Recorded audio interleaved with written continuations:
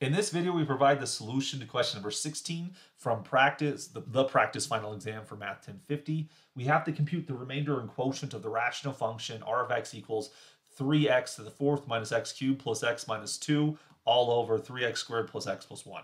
Um, as the denominator is a quadratic uh, function, we, we can't use synthetic division to do the division here. We're going to have to use long division. So let's set that thing up. So our divisor is 3x squared plus x plus 1 we need to then divide the numerator 3x to the fourth minus x cubed. There's no x squared term, so I'm actually going to leave a space for it, um, plus x minus 2 like so.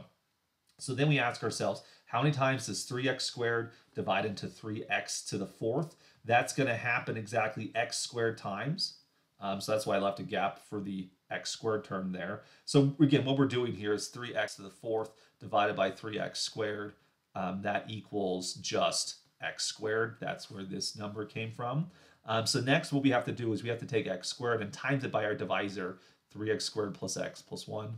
Distribute this throughout and you end up with 3x to the fourth plus x cubed plus x squared like so. I'm going to record that over here.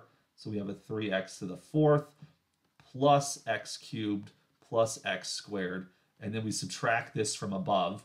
Um, the, th the first term should always cancel out if we chose this number correctly.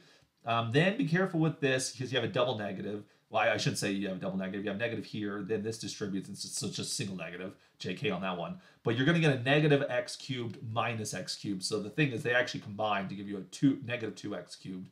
And then as you have no x squareds, you have 0x squared minus x squared, which gives you a negative x squared, like so.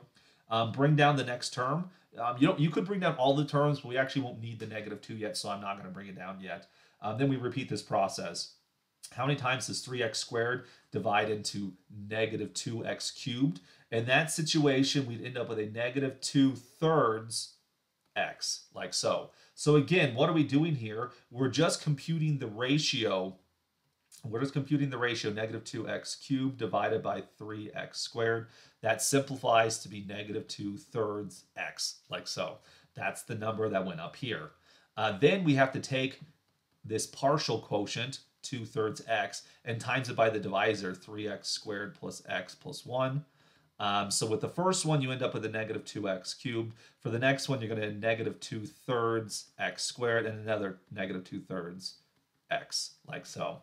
We then record that over here, negative 2x cubed minus 2 thirds x squared minus 2 thirds x, like so. We then subtract this from above. The first term should cancel out perfectly. Um, the next ones, maybe not so much. We do have some fractions here, so be careful here.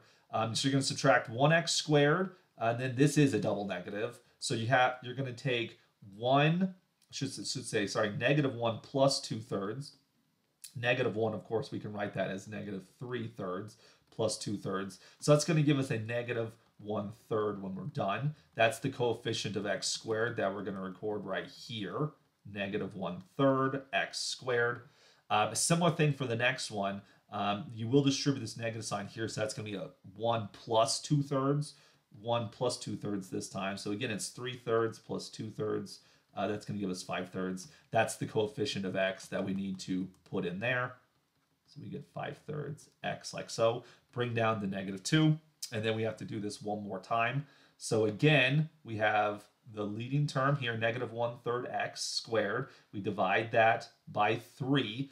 That actually is going to give us a negative 1 ninth right there as the quotient. So at this moment, actually, I'm going to put a label here uh, we found our quotient. Right, let's actually label this. This is our quotient because we're asked to identify the quotient. So we have the quotient, but we need to find the remainder. So we're not quite done with that yet. Uh, what we have to do is we have to take this thing and times it by negative 1 ninth. So 3x squared times negative 1 ninth will be negative 1 third x squared.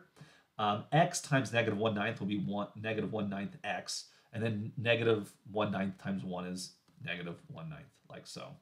We subtract this from above. Again, the leading term should cancel out perfectly. Uh, for the next one, it might take a little bit more effort here because we have some fractions to deal with. So we have 5 thirds plus 1 ninth. Uh, so we should rewrite the 5 thirds as 15 ninths plus 1 ninth. That's going to give us 16 ninths there. So we record that. Uh, 16 over 9x. And then for the last part there, we have a negative 2 plus 1 ninth. Negative 2 plus 1 ninth. So again, I'm going to rewrite the denominator so it's a 9 there. So I'm going to get negative 18 over 9 plus 1 ninth, like so. And so that'll then combine to give us a negative 17 ninths, in which case that then gives us the rest of the remainder, negative 17 ninths, like so. Uh, maybe put a box or something to indicate that we've now found the remainder here. Clearly indicate what we have. And so zooming out, we could then see the quotient was x squared minus 2 thirds x minus 1 ninth, and then the remainder was 16, 16 ninths x minus 17 ninths.